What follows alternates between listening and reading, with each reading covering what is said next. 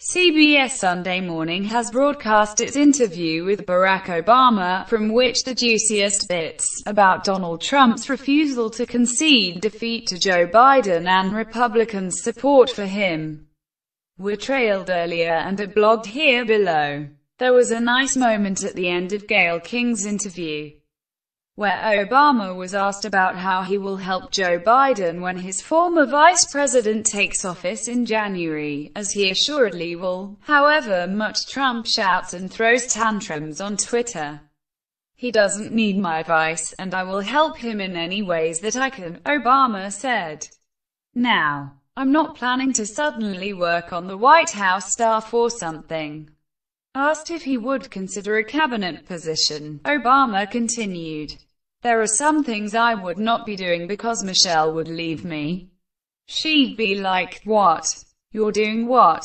King also elicited a funny answer about what happens when the trappings of office, in this instance the presidential motorcade, are gone. I'm driving along, Obama said, laughing. I'm still not driving, but I'm in the car. I'm in the car in the back seat and I'm looking at my iPad or something. And suddenly, we stop and I'm like, what's going on? There's a red light. There's a car right next to us. Some kids are eating a burrito or something in the back seat. Back to life. Obama's interview with CBS 60 Minutes will be broadcast tonight. A win for Joe Biden has renewed hope for the US and the world. Millions of readers, including from Vietnam like you, have turned to The Guardian to follow and understand the presidential race. After four years of turmoil, misinformation, manipulation and division, the result of this historic election offers fresh promise for democracy and progress.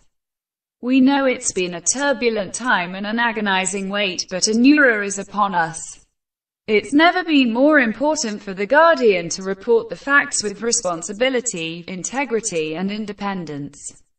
We've done just that, and will continue to bring you quality news and clear, intelligent analysis.